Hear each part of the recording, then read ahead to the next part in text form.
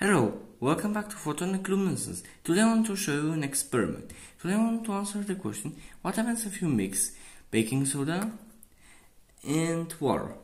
So let's going to first pour in the baking soda.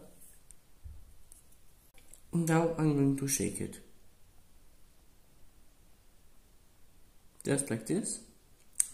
And we are going to see.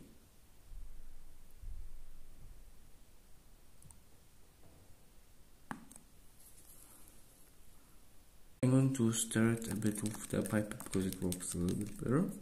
Not a lot really happened. So what happens when you mix baking soda and water is that you get sodium hydroxide plus carbonic acid and carbonic acid decays into water and carbon dioxide which is some physics that can be sometimes seen. Thanks for watching.